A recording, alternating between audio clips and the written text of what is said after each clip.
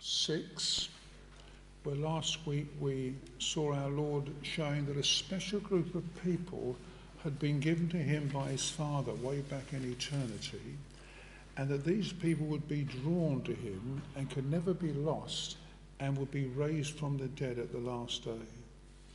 But the Jews who listened to this were unmoved by Christ. They didn't believe that he'd come down from heaven. They knew of Joseph and Mary, and they totally rejected his divinity. And by doing that, they showed that they themselves were not drawn by God. For the way for people to receive eternal life is to believe on Christ in a saving way. Now we're going on from there this morning in verse 48, where the Lord says once more, I am the bread of life. As we've seen before, this is one of the several I ams that are found in John's Gospel. The others include, I am the light of the world, I am the door, I am the good shepherd, I am the resurrection and the life. I am the way, the truth, and the life. And I am the vine. And all these I ams look back to that special day in the Old Testament when Moses appeared before the burning bush and God said to him that his name was the great I am. And so these statements of our Lord showed that he identified himself with the God of the Old Testament. Now, we've already seen that Christ is similar to bread in certain aspects. He said that. I am the bread of life. And here he is showing that just like a person cannot live without food, so people will perish if they do not receive him. As people become better off, not so poor, so bread is deemed to be less important. But it was all important in Bible days. You read through the Old and the New Testament bread was the main thing. If you got bread, that was, that was great. Nowadays, it's the sort of thing that you buy already cut and wrapped. It's a convenience food. Not so many people buy it in baker shops anymore because it's not important to most people, not that important.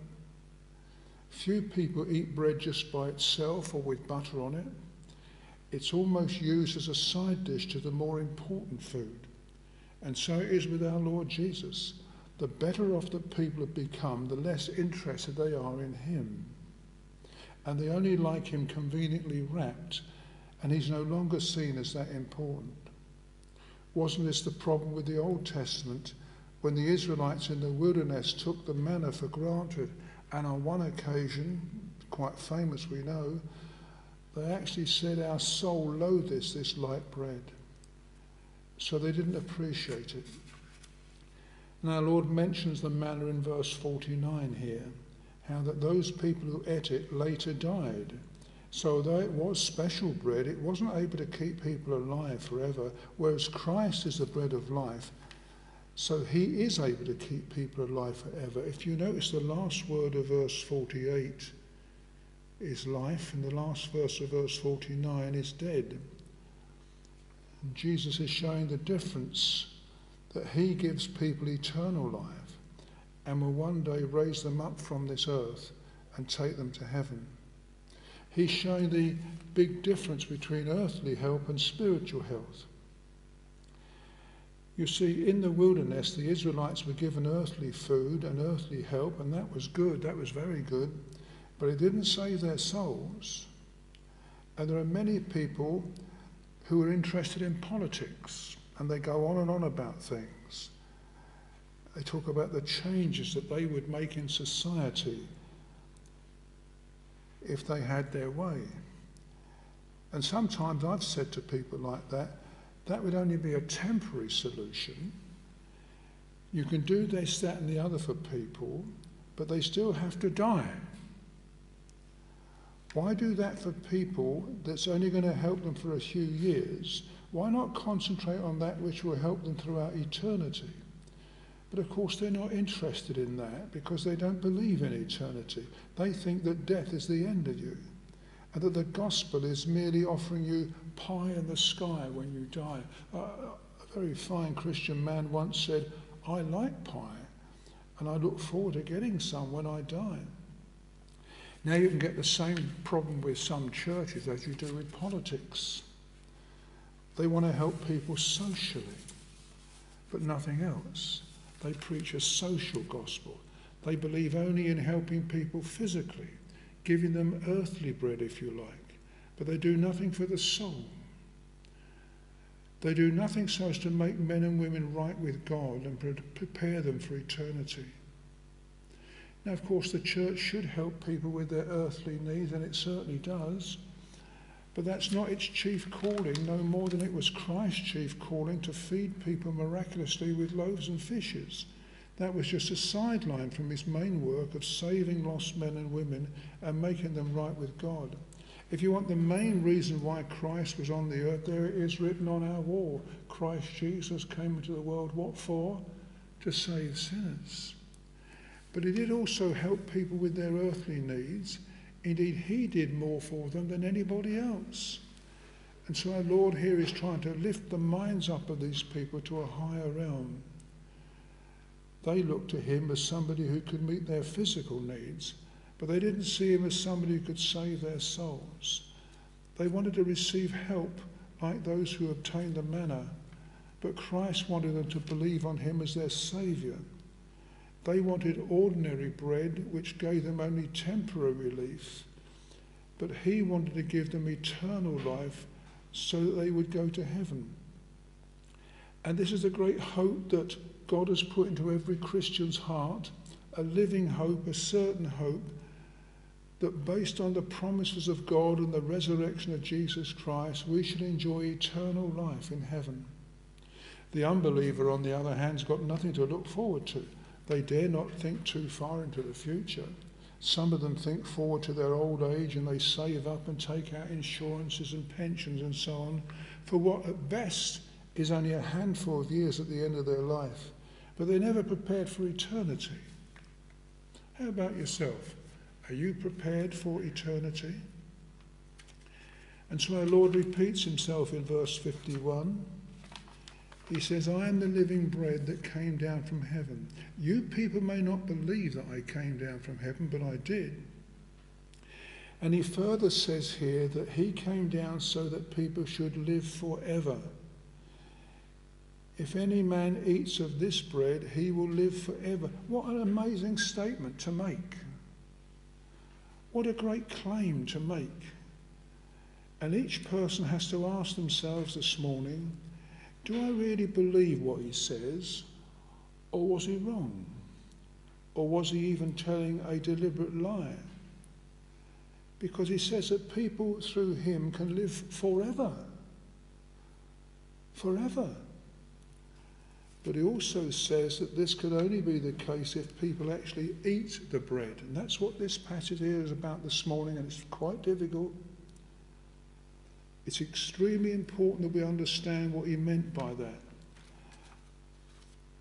The people who he was speaking to were offended by it. And what he was basically saying was this if somebody's dying of starvation and you give them some bread, that's not going to help them unless they eat it.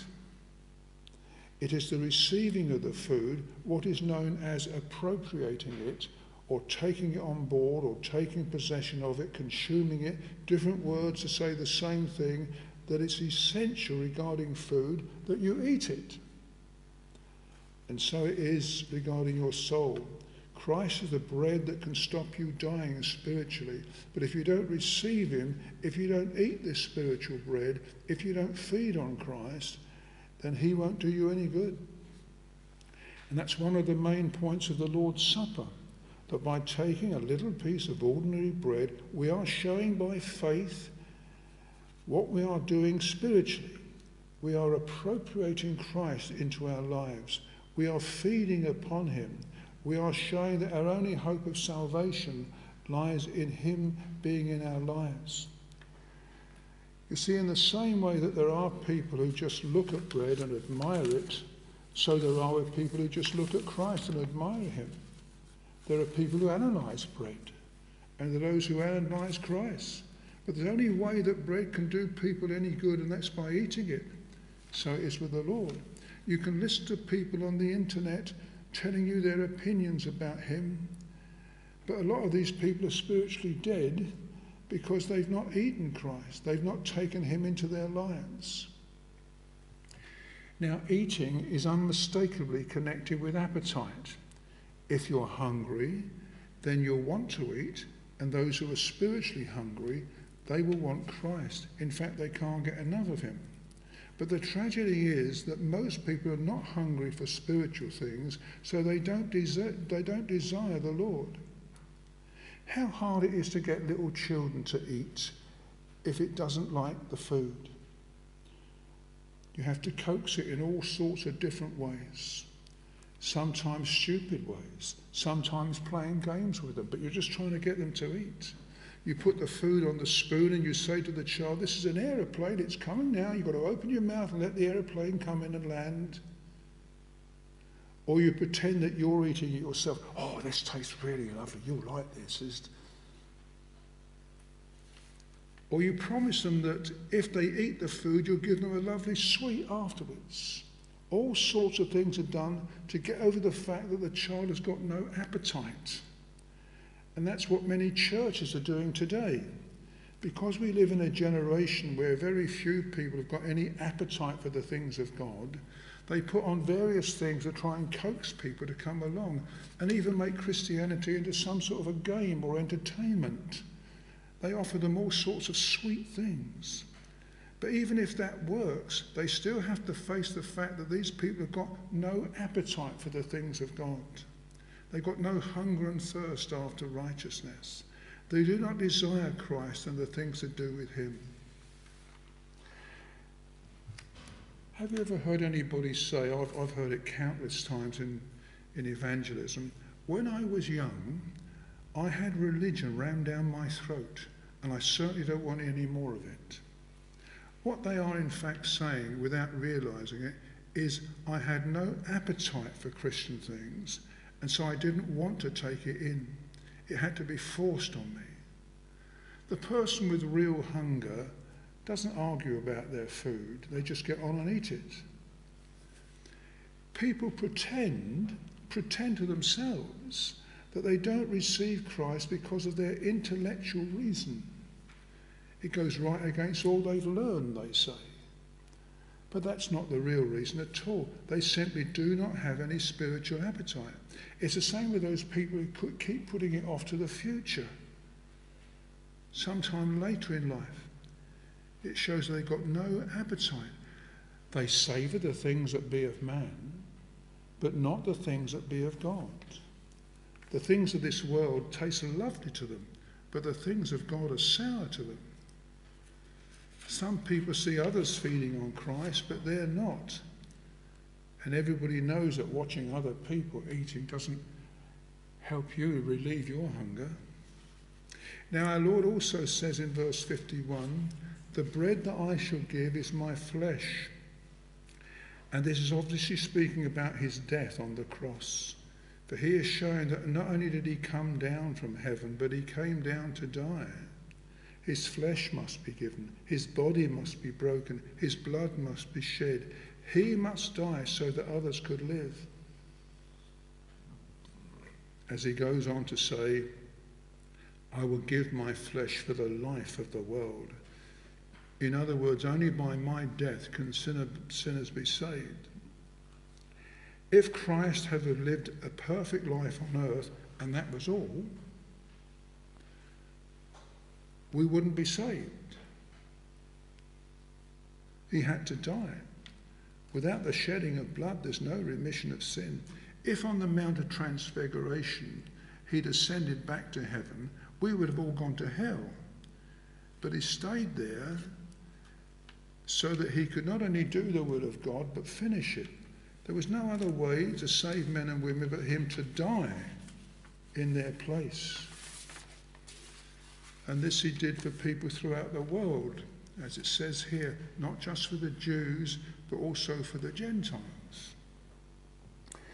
So in verse 52, we see the reaction of these people to all this. They thought he was being absurd. How can this man give us his flesh to eat? They weren't on a spiritual wavelength at all. They were rather like Nicodemus when he said, How can a man be born when he's old? But they didn't all agree with each other. They strove amongst themselves. Maybe some suggested that they should get a clearer explanation from Christ, but others wrote him off completely. Some thought he was mad for saying such things. Others realized that a madman couldn't do those great miracles to benefit people. And so it's been over the last 2,000 years that people have striven with each other over the teachings of Christ, and yet only a few have received him. Now, our Lord doesn't seem to answer the doubts of these people, he doesn't seem to explain what he means. Instead, he repeats his statement in, in the next verse, verse 53, this time emphasizing this glorious truth with the words, Verily, verily. In other words, this is all important. And so it is. For he says, Unless you eat my flesh and drink my blood, you have no life in you. Maybe they thought that this was even more ridiculous, even more extraordinary but he was trying to tell them that only those who did accept his coming death as their way of salvation could be saved and go to heaven. But he doesn't make his statement simpler or easier to understand. He's even more spiritual in his words. And incredible as his words sounded, they were in fact true. A person will remain dead in trespasses and sins unless they receive him into their life. And he repeats this in verse 54. Whoever eats my flesh and drinks my blood hath eternal life, and I will raise him up at the last day. That's the fourth time now in these few verses that he's talked about raising people up at the last day. But how difficult it was for these ordinary people to understand, it can only be understood by faith. And this is pictured by our attendance at the Lord's Supper when we take a little piece of bread and a small amount of wine and we consume this into our body, it's a picture of our doing what Christ is saying here, eating his flesh and drinking his blood. And this is done to show ourselves and other people, and mainly to show God, that what we believe is that by taking Christ into our lives, we should be eternally saved. The Christian is somebody who's long since given up the idea of getting right with God through their own merits. They know that their only hope is through the body and blood of Christ as he was crucified for us. It should be obvious to anyone, even those who find this teaching extremely difficult, that our Lord is showing clearly that it's not sufficient just to believe on him. You have to take him into your life. You see, some people believe in Christ like they believe in Winston Churchill or Queen Victoria. they believe that these people were once on the earth, but that's all. They think that Christ lived and died and they acknowledge him as a person in history, but to them that's all there is to it. The teaching of the Bible is that Christ is alive, he's still alive, and only those who receive him into their life will themselves be raised from the dead. But unbelievers feel that all this is sheer nonsense. Why spend a half an hour listening to this? It's total nonsense, this man giving his flesh for us to eat. They don't believe in it at all. Now, our Saviour is showing here that those who do have eternal life will show this by feeding upon him. Back in the book of Exodus, and we read it together, the Israelites were spared by the blood of the Passover, the lamb being sprinkled over their doorposts. But afterwards they fed on the same lamb. They were saved by the blood and then they ate the lamb. The lamb wasn't destroyed, they ate it up. And so it must be with the Christian. We're saved by the blood of the lamb and we continue to feed on the lamb after we've been saved. And that's why a person's interest in Christ and the things to do with him are an obvious evidence that they have eternal life and that they're on their way to heaven. In verse 55, our Lord says, For my flesh is meat indeed, and my blood is drink indeed. The word indeed meaning in the full sense. You may remember that he previously used this word when speaking about Nathaniel, when he said that he was an Israelite indeed, meaning to say, in every sense of the word, Nathaniel was more of a true Israelite than other people. And so it's the same here. That Christ's body is more of food than ordinary food. It is food indeed. It would keep you going a lot longer than other food. It will bring you through the storms of life. People can try to feed their souls on all sorts of things, but only Christ will bring real nourishment to them. And verse 56 yet again continues this theme of feeding on Christ. You know, the fact that our Lord has so much to say about eating in these verses could mean that he was thinking of man's original sin in the Garden of Eden, because that was also connected with eating. Adam and Eve ate the forbidden fruit, and that's what made us sinners in the first place. But now our Lord is showing that people can get rid of their sin by eating Him, by receiving Him into their life. Here he emphasizes our union with Him. We dwell with Him, and He dwells with us. And He's showing the fellowship that we can enjoy with Him. It's almost as if He's saying, that as we feed on Him, He becomes part of us and we become part of Him. I know this is very difficult to understand, but the food that we eat day by day throughout our lives, most of it passes through our body and helps our body to keep going. But some of the food actually becomes part of our body, so that our bodies are made up of the food that we've eaten over the years. And if we can comprehend it, the same is true in a spiritual sense. That the more we take Christ into our life, the more he becomes part of our life. And just like our bodies are made out of the food that we've eaten, so our souls and our Christian lives are made out of Christ that we've taken in. And so we are part of him and he is part of us. We've often thought about Paul's favourite words of being in Christ, in Christ. And that's similar to what it's saying here. We are in him. We become part of him. We're told elsewhere that the Lord is like a rock. And in a time of storm, we can hide in that rock like hiding in a cave. So the rain of the storm falls on the rock and not upon the person who's sheltering in it. And when the judgment falls upon the ungodly in the days to come, it will not fall upon the Christian because they're sheltering in the rock of Jesus Christ. And all this business about being in Christ and Christ being in us should make us less worldly and more interested in the things that He's interested in.